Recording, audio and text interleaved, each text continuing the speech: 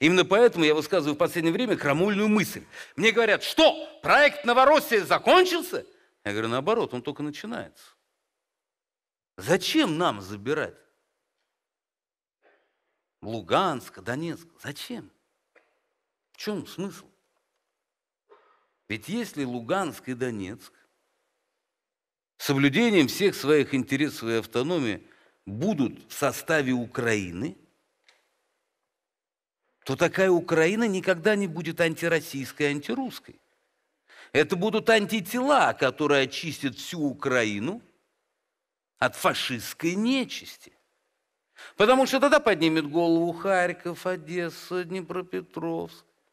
Они начнут голосовать. Они вспомнят свою историю, они увидят, что, оказывается, получилось.